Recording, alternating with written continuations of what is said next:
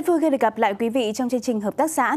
Thưa quý vị, theo thống kê, cả nước hiện có trên 30.000 hợp tác xã và trong đó có khoảng 60% là các hợp tác xã hoạt động trong lĩnh vực nông nghiệp. Bởi vậy, theo quan điểm của Bộ Nông nghiệp và Phát triển Nông thôn là quan tâm bao nhiêu nông dân trong khu vực hợp tác xã, càng nhiều nông dân tham gia vào hợp tác xã thì càng nhiều hộ được hưởng lợi từ các chương trình hỗ trợ của nhà nước. Hợp tác xã là công cụ phát triển nông nghiệp bền vững và có thể khắc phục được công nghệ, vốn, thị trường. Phát triển kinh tế tập thể chính là chìa khóa hữu hiệu phát triển kinh tế nông thôn một cách hiệu quả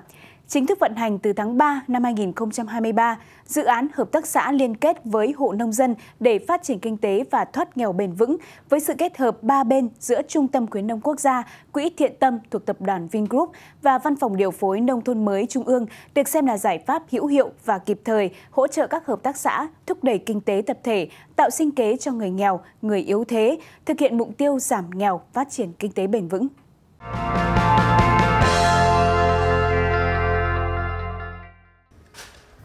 Xã Thụy Hương, huyện Kiến Thụy là xã nông thôn mới kiểu mẫu của thành phố Hải Phòng năm 2022. Xã phấn đấu về đích trong xây dựng nông thôn mới nâng cao trong năm 2023. Đời sống người dân được nâng cao rõ rệt. Thụy Hương không còn hộ nghèo và cận nghèo.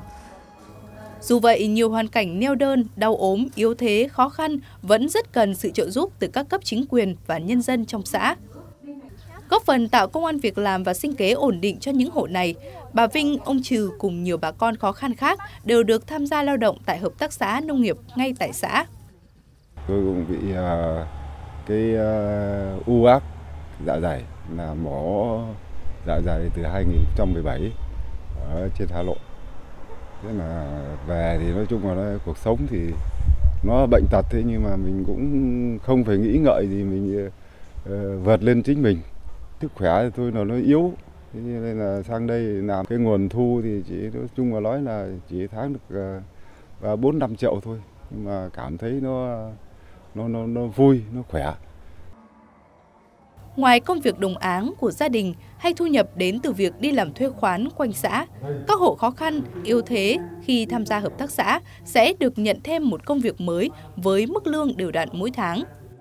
cam kết về tiền lương tối thiểu 1 triệu đồng một hộ một tháng cho 25 lao động tại hợp tác xã là các hộ thuộc diện hộ nghèo, hộ khó khăn, yếu thế. Hợp tác xã sẽ nhận được khoản hỗ trợ vay vốn không lãi suất trị giá 1 tỷ đồng đến từ dự án. Hợp tác xã liên kết với hộ nông dân để phát triển kinh tế và thoát nghèo bền vững. Đối với các hợp tác xã mà đang mong muốn hoạt động có hiệu quả mà muốn nâng cấp sản phẩm sản phẩm của mình lên và đó là một cái điều rất là đáng trân trọng vì đối với các cái hợp tác xã mà hiện tại đang phát triển thì áp dụng các cái nghị quyết của thành phố Hải Phòng, nó vướng rất nhiều cái mắc. Nhưng đối với cái chương trình quỹ thiện tâm này là hỗ trợ cho vay vốn không lãi suất,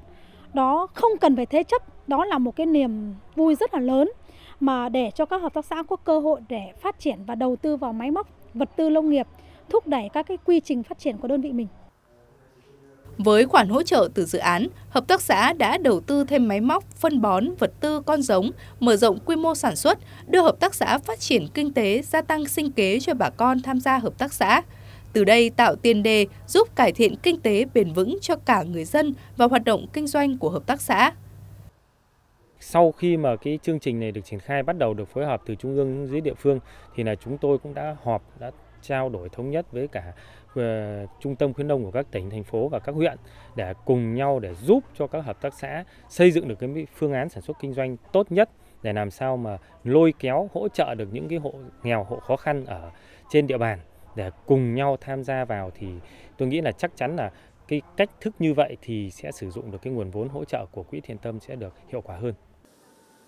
Cách làm này sẽ đem lại hiệu quả về kinh tế trong thời gian ngắn nhất, giúp các hộ nghèo, cận nghèo, khó khăn tại địa phương có nguồn thu nhập ổn định và ngay từ thời điểm đầu tham gia dự án. Thông qua việc tham gia vào chương trình, các hộ nghèo cũng sẽ được tiếp thu kiến thức kỹ thuật trồng trọt, chăn nuôi tiên tiến hiện đại,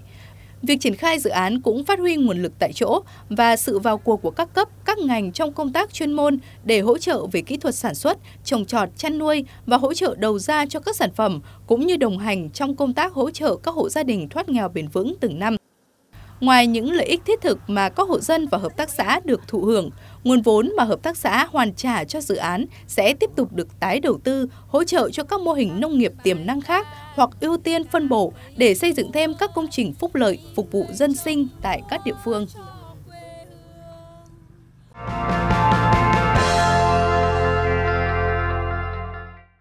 Cùng với Hợp tác xã Sản xuất Kinh doanh Dịch vụ Thụy Hương, bắt đầu từ tháng 3 đến ngày 1 tháng 12 vừa qua, đã có 20 hợp tác xã điển hình tại 11 tỉnh, thành phố tham gia chương trình đã được Quỹ Thiện Tâm hỗ trợ vốn đầu tư, trang thiết bị, giống, vật tư, phát triển sản xuất kinh doanh nông nghiệp.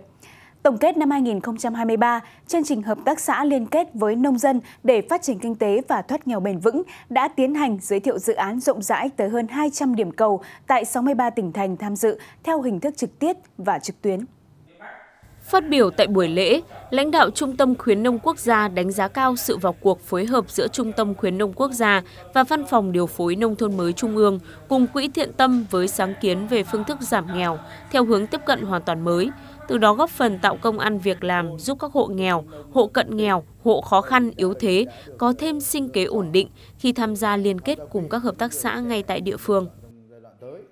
Ờ, chúng tôi cũng đánh giá cao cái hoạt động ờ, và cũng đồng hành với phía bộ là chúng ta tập trung vào để phát triển kinh tế tập thể. Ờ, bộ trưởng Lê Minh Hoan thì có nói một điều rằng là hợp tác xã, hợp tác xã hay là không là gì cả. Nếu như chúng ta không tiếp cận nông nghiệp nông dân thông nông thôn thông qua các hình thức kinh tế tập thể. Ở đây không phải là hợp tác xã kiểu cũ mà chúng ta phải hình dung đây là một hình thức hợp tác xã. À, như truyền thống của chúng ta ấy, thì đã nói rồi. À, chúng ta làm ruộng là phải làm làm ruộng theo theo làng đúng không ạ? Không ai không ai có những cái thời kỳ là người trồng lúa người trồng khoai bên cạnh nhau được mà có thể tăng hiệu quả được. Mà lúc ấy là nó chỉ giải quyết những vấn đề gọi là tự cung tự cấp tại thời điểm ấy thì nó thành công. Nhưng bây giờ chúng ta đang chuyển thành tư duy kinh tế. Thì làm kinh tế không ai làm như vậy cả. Mà người ta phải theo làng. Thì bây giờ bài học kinh nghiệm cho thấy rồi. Tức là người ta phải có một cái làng, có một cái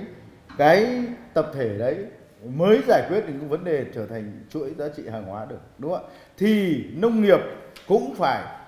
lấy hợp tác xã trở thành một cái cái như là một cái làng nghề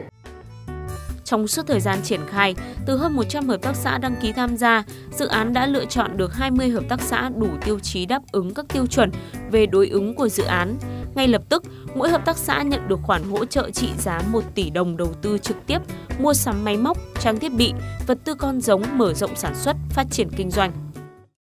với cái, cái đây là một cái chương trình cũng hết sức mới với cả cái nguồn lực cũng rất nhỏ. Cái việc mà chúng ta cùng nhau đoàn kết cùng nhau hợp tác cùng nhau hợp sức để nâng cao cái giá trị của cái đồng à, đồng vốn ban đầu ít ỏi này chúng ta ngày càng sinh lời và sinh tạo hình thành một cái quỹ để chúng ta có thể là tác động vào nhiều hơn nữa đối với cả các cái mô hình cũng như các hợp tác xã trong thực hiện. Cái nữa đó là vấn đề về chúng ta cùng nhau phối hợp để chúng ta tạo ra được những cái mạng lưới, những cái nội dung để trong đó thì hình thành rõ hơn nét hơn nữa những cái mô hình tổ chức về hợp tác xã cũng như là các cái mô hình, các cái tổ đội khuyến nông đặt ở cơ sở một cách bền vững và tác động nhiều trong cái quá trình cùng đồng hành trong quá trình xây dựng nông thôn mới không phải là chỉ trong giai đoạn này mà còn những giai đoạn tiếp theo. Tham dự sự kiện từ các điểm cầu, đại diện các hợp tác xã, ngành nông nghiệp, khuyến nông, các văn phòng nông thôn mới của 63 tỉnh thành, đánh giá rất cao những kết quả đã đạt được của dự án và mong muốn chương trình được triển khai rộng khắp tại các địa phương trên cả nước. Trong đó đặc biệt quan tâm đến những vùng khó khăn, vùng biên giới,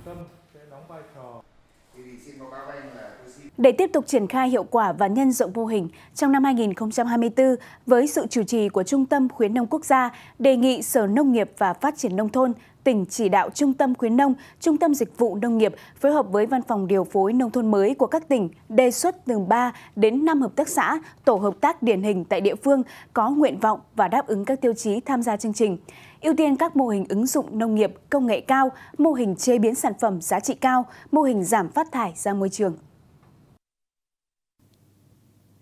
Trong thời gian tới để tham gia giai đoạn tiếp theo của chương trình, Các địa phương thỏa điều kiện là các xã huyện thuộc vùng kinh tế khó khăn, tỷ lệ hộ nghèo và đồng bào dân tộc thiểu số cao, còn nhiều hoàn cảnh kinh tế đặc biệt khó khăn, có mong muốn thêm việc làm để tăng thu nhập. Bên cạnh đó có các điều kiện cơ bản thuận lợi để phát triển kinh tế nông nghiệp. Đặc biệt chính quyền địa phương ở cấp xã huyện đồng thuận với dự án, cam kết tham gia dự án và có bộ máy quản lý thực hiện hiệu quả đều có thể đăng ký tham gia dự án. Đối với tỉnh Sơn La là một trong những tỉnh miền núi ở vùng Tây Bắc rất là khó khăn. Có 12 huyện thành phố và có 6 huyện đường biên giới. Ờ, có 17 xã ờ, có đường biên giới giáp với nước bạn Lào. Thế do vậy là việc à, quỹ thiện tâm dành cái sự quan tâm chăm lo cho các tỉnh miền núi, những cái tỉnh có điều kiện kinh tế còn khó khăn như thế này. À, quỹ thiện tâm à, trong thời gian vừa qua cũng đã giúp cho tỉnh Sơn La rất là nhiều hoạt động à, sinh kế như hỗ trợ xóa nhà tạm, à, mô hình à, Ờ, giúp dân ờ, chuyển đổi cơ cấu cây, trồng trên đất dốc, ờ, được vay những cái nguồn vốn và không phải trả lãi suất. Và từ những cái nguồn vay này, nhiều hộ gia đình cũng đã thoát nghèo, vươn lên làm giàu chính đáng. Mọi người dân là rất là trân trọng tình cảm của quỹ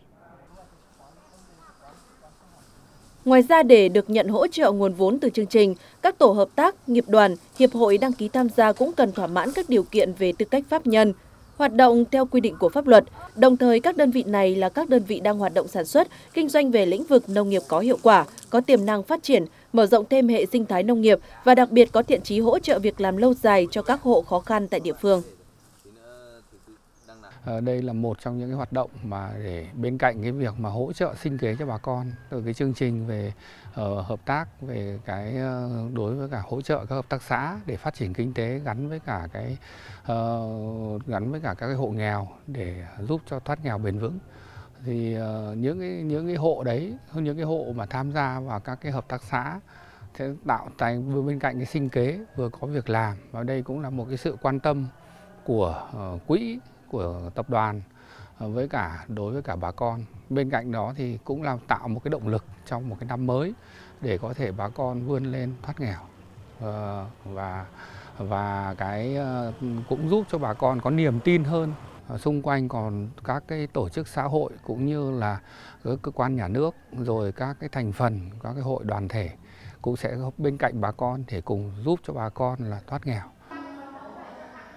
Thỏa các điều kiện này, người nông dân và hợp tác xã sẽ cùng Quỹ Thiện Tâm, Ủy ban Nhân dân xã, Phòng Nông nghiệp huyện các địa phương tham gia ký kết hợp đồng trách nhiệm bốn bên, cùng tham gia chương trình sẽ nhận được khoản vốn hỗ trợ ban đầu trị giá 1 tỷ đồng. Số tiền này sẽ được dùng để thực hiện mua con giống, cây giống, trang thiết bị máy, tư liệu sản xuất khác để phát triển các hoạt động sản xuất kinh doanh trong lĩnh vực nông nghiệp theo định hướng công nghệ cao, nhằm tạo việc làm cho các đối tượng khó khăn nằm trong khuôn khổ của dự án.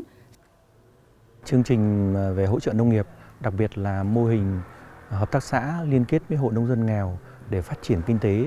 và xóa nghèo bền vững. Chúng tôi đã triển khai được à, hơn một năm và với hơn 20 mô hình của năm trước